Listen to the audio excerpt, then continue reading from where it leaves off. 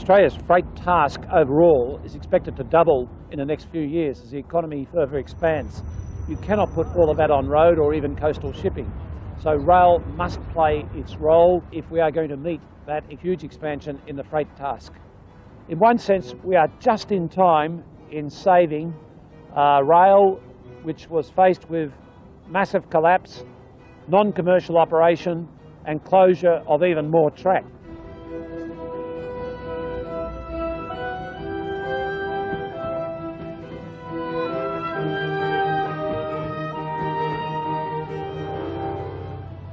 Freight Australia has replaced a loss-making, taxpayer-funded railway called V-Line into a modern, up-to-date and uh, financially viable transportation company called Freight Australia. Just in the two years when we acquired the business, it had a turnover of $100 million. Today, its turnover is over $200 million. So we've doubled the size of the income stream of the company.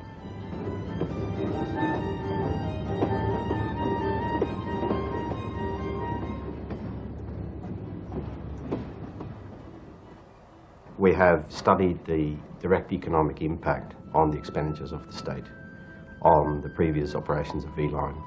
The direct economic benefits we've assessed at being around $90 million a year. Last year, we hauled almost 9 million tonnes worth of freight uh, that is exported overseas and that helps to contribute to Australia's economy. Uh, we're the people who haul the entire grain crop in Victoria, for example, and we were in fact hauling about half a million tonne of grain a month to port, uh, making sure it got there efficiently and quickly and at the lowest possible cost. The key element in Freight Australia's success is being customer focused. We can respond very quickly to a customer's need. That is something that's very difficult to do when you're a government organisation. Freight Australia has been fantastic to us in the past year because when if we want to use if we want to use road, we're looking at probably another couple of hundred dollars extra per container to road up because we also have to include the empty return bag. Whereas with the rail, we're taking the container up empty. We get that charge, but it's not half as much as it's going to cost by road.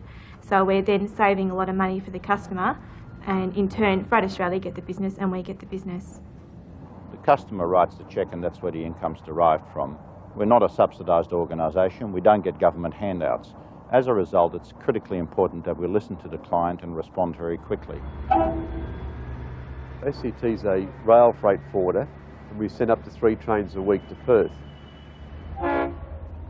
We had a problem, we couldn't fuel in the desert, so Freight Australia came up with a system where we could fuel locomotives without having to stop.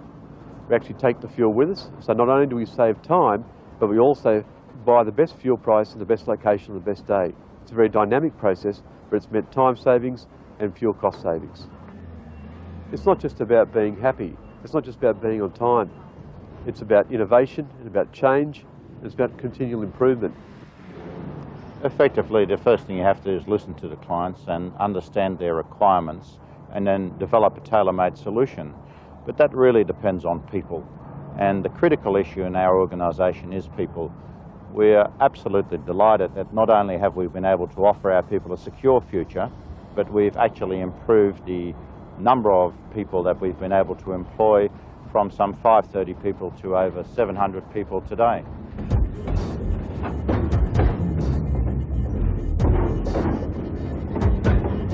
Well, basically, you've got a direct line to the management regime from Marinus downwards. So, you know, if there's any issues, you can talk to any of the managers um, and basically get the issue in hand, at hand dealt with fairly quickly.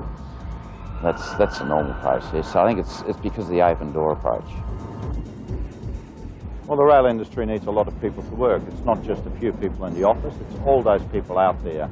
Over one third of our organisation are people who drive trains. And effectively, uh, we need those people and we need new people to be skilled in those tasks. It's the first time, certainly in Victoria in many, many years, that new people are actually being trained to be diesel maintainers, enginemen, shunters, and all these type of activities in our business.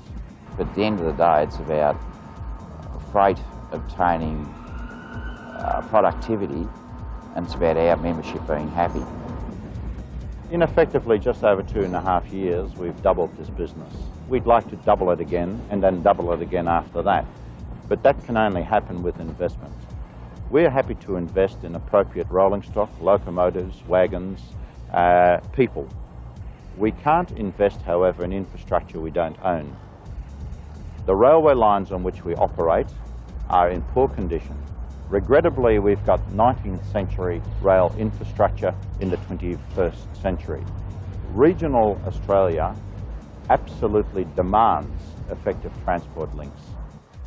Government should invest in rail, especially in country Victoria, because it's very important for all those people in the whole of Victoria to be serviced properly. Road only services a portion. Rail, especially Freight Australia, services the whole of country Victoria. We would never get the harvest in. Four million tonne of year grain per year comes in by rail, goes to Geelong and to Portland. That all comes in by rail, and Freight Australia do a great job on that. Also with containers. 80% of all containers in country Victoria go into Melbourne, all by rail from specific hubs around country Victoria. Road can't supply that service. Historically speaking, governments have viewed rail as a diminishing uh, transport mode and have invested very heavily in roads, not at the expense of rail, but at the exclusion of rail. And although there's been a recent increase in government funding in rail, I believe that that should increase and that government should view the rail network the same way they look at our national highway network. Effectively, every time a tonne of freight is moved by rail, it uses one third the amount of fuel than a tonne of freight would move by road. So very clearly, greenhouse gas emissions are reduced by two thirds. That has effects in terms of the air we breathe, holes in the ozone layer, and the environment generally. In addition to that, by taking freight off the road and putting it on the railway lines, we have less trucks and therefore more room on our highways for ordinary motorists.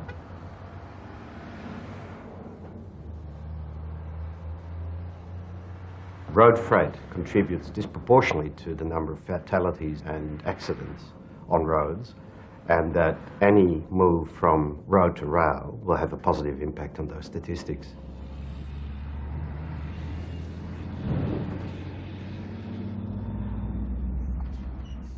The solution to transport is not road or rail, it is road with rail.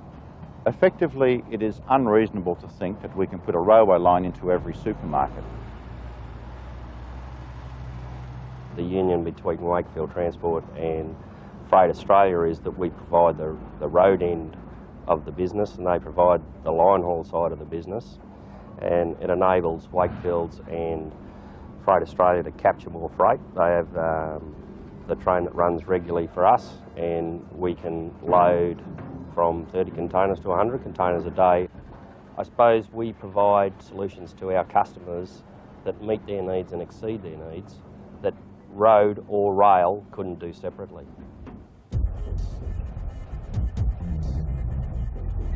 From Mildura to the Port of Melbourne, 10 years ago, next to zero containers moving by rail, next to zero.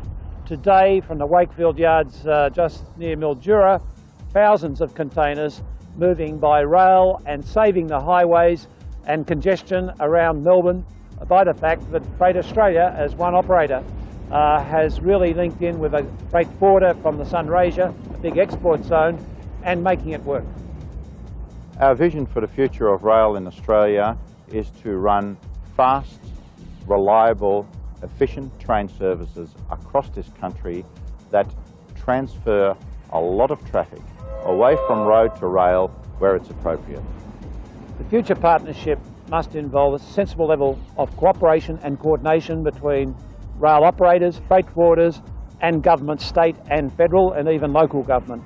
Uh, this uh, must include giving rail a fair go helping with track upgrading given the amount of money which is poured into our highways and freeways and all. But above all else, rail is here to stay and if given a fair chance will make a huge contribution to the future economic well-being of Australia. Freight Australia's vision is to have rail, road and government working closely together to deliver the best transportation solutions for Australia and Freight Australia seeks to be an active participant and partner in that future.